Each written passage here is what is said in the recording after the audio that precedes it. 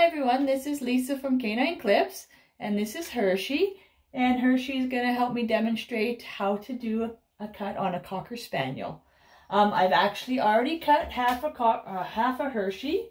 I've already done the bath um, and then I've cut half of him to show you the finished look because I'm going to do it in stages and uh, with dog grooming there is no retakes and second takes and uh, editing because it is what it is. So I just thought that would give you a better idea. So on this side, I have not done anything with, with him. So I need to do everything for the cut. So this is how he came in. Um, and like I said, I've given him a bath and uh, that is about it. So uh, when I first, when he first came in, I, do, I did brush out his ears and all the skirting. I did brush all that out um, and combed it out. I used a nice metal comb to get that out because then you can actually get down to the bottom. Um, with a dog with a skirt, you're going to want to make sure they do not have any matting. Um, otherwise, it'll affect how you can do the skirt. So you'll want to make sure there's no matting in there. And if there is heavy matting, you will not be able to do a skirt on him or her. All right, so I'm going to get started. So I use a number 10 on the top. And on cockers, you start right from the face.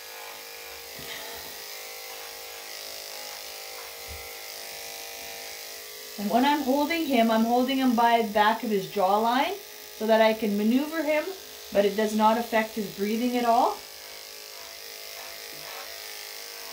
And I just go right inside the ear there, just up to it. And around his eye, and his whole mouth and face. I get it all shaved down. So this is a number 10 that I'm using now.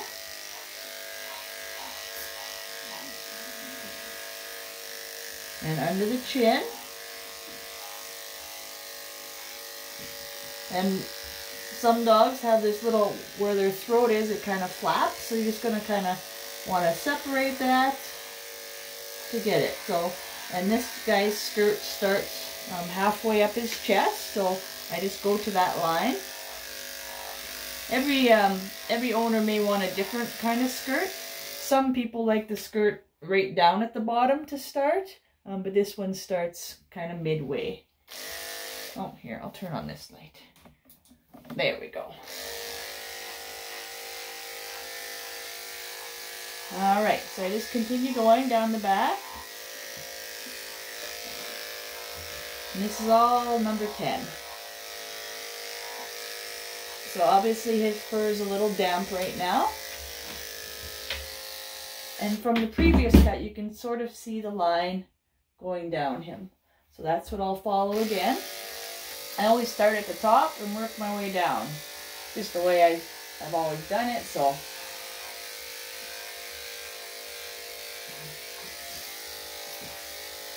And sometimes with a little bit older dogs, their skin is loose, so you kind of have to hold the skin tight with your other hand so that you can get a nice cleaner cut, as I do have to do with this guy.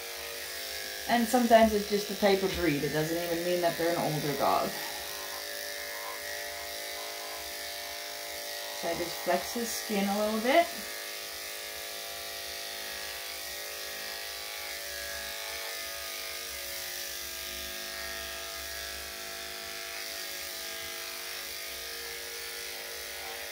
There we go. And with his fur being a little bit uh, damp yet, um, you don't have to worry about getting it perfect because I'm going to be blow drying him again. Um, and then that'll help kind of poof it up a little bit.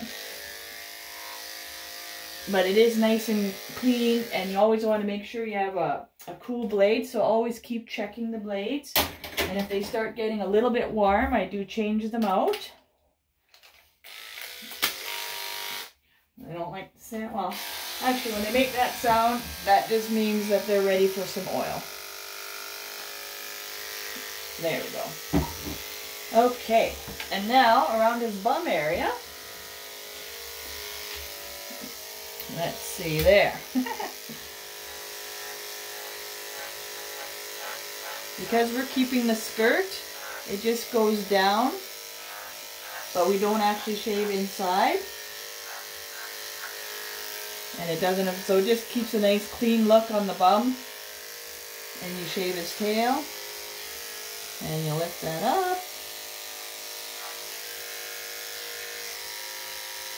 And get all the whiskies in there.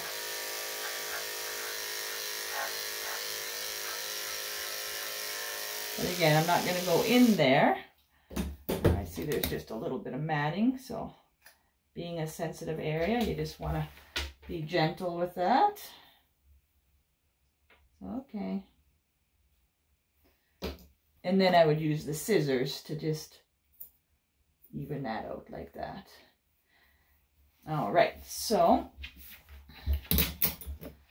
now I'll go back to the side I haven't done. Okay, so on the skirt, um, you can either use a scissor cut from this, um, but this owner um, likes it a little bit shorter. It is the summer right now. So what I do is I use my three quarters blade, which is this one here. Again, there's no matting because if there was matting, you would not get this blade through. All right. And basically I just go down with that.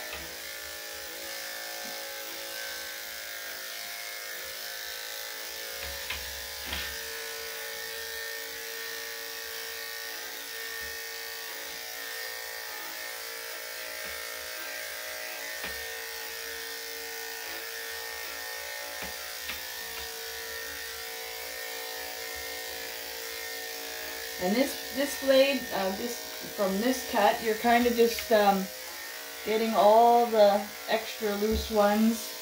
On the inside you can go, usually I go upwards just to take a little bit more because it's in that area where it's prone to get matted. So I do it a little bit shorter because you're going reverse up.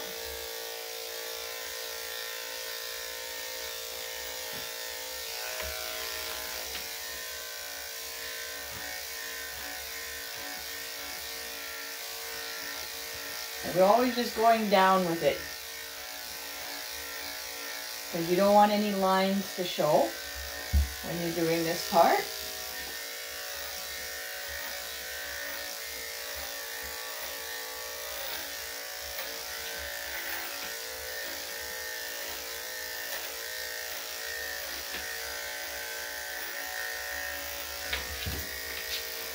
Okay.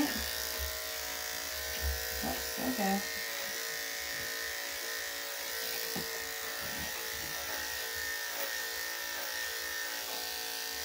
There we go. I'm just going up inside.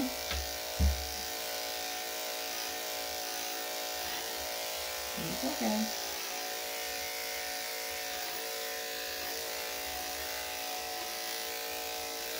There we go. When I'm holding here, I'm just holding him up so he's out of my way. But again, no, no pressure on the throat. You never want to put any pressure on the throat area to restrict their breathing.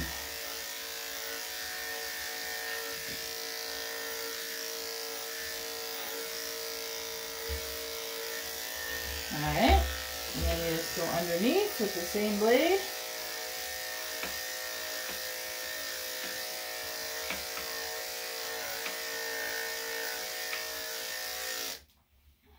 And um, back here, sorry, so back here when I was going, um, they have that little flap of skin there. So I don't really even know these ones won't go through because they're not split tooth, but it could still pull on the skin.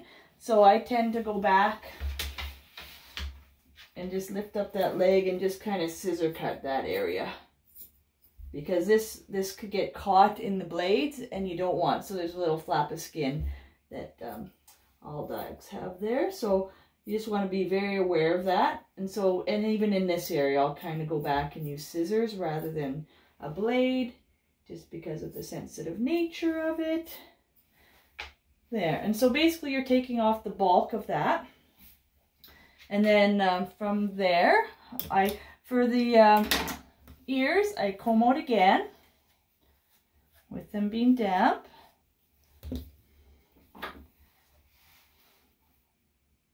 And then I just, you can see the outline of the ear.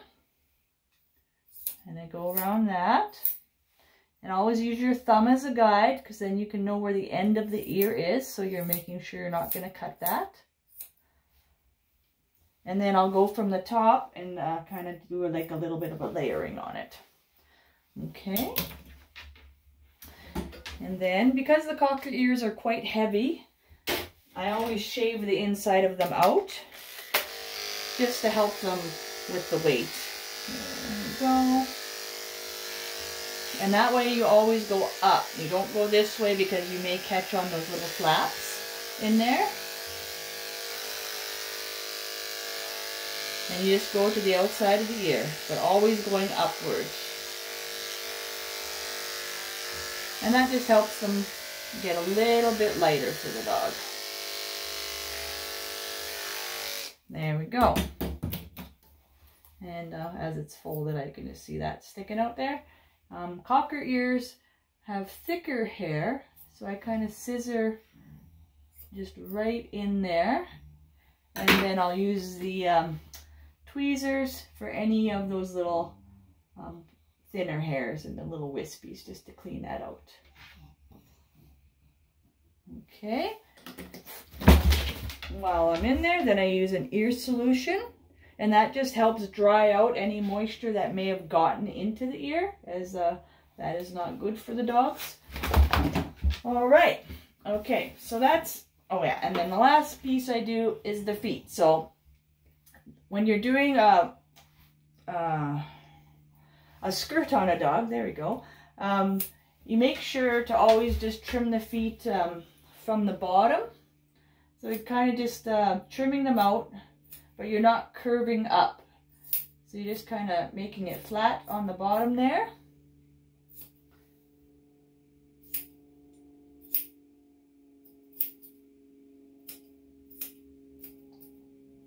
So that it kind of blends with the rest of the skirt. Otherwise it could be, um, you know, it, it would definitely show if they had real short shaved feet and then a long, uh, long skirt coming down on the legs. So and you just kind of round it. So you just kind of go through the toes, but you're not angling the scissors back. You're just going straight up with it. I already did the back foot. So I just, I don't want to make the video too long. Just get the basic points across. Um, please let me know if there's any specific that you'd like to see on a breed or um, just a specific cut you'd like to see. I always have new guys coming through every day. So I'm just working as they come in. So I don't know what breed's coming in until they get here. So, okay. So that is the first cut is what I do after the bath. Okay, and then what I do is I blow dry again. And then it kind of fluffs everything up like this. And then what I'll do is I'll go back and just scissor anything that's kind of uh, sticking out more. So you can see this toe jam is a little long. So again, I'll just use scissors for this part. So I won't use the clippers anymore. I will use the clippers on the top though um, to clear any of those off. But uh, use scissors just on the bottom skirt. And just underneath I can see.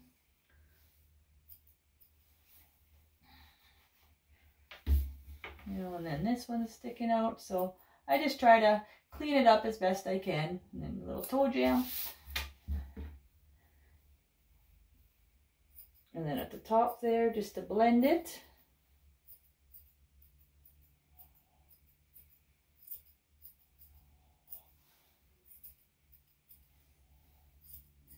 There we go. All right, so there is um, how to do a cocker cut. Hopefully um, it all made sense. Um, if you have any questions or you'd like to see something different, please let me know. Um, for my lovely assistant, he did really good. He's pretty relaxed. Um, and I plan to be posting every day a new video and possibly of a new dog. So Um, please subscribe to my channel and um, keep watching and I hope you have a great day. Thanks for your time.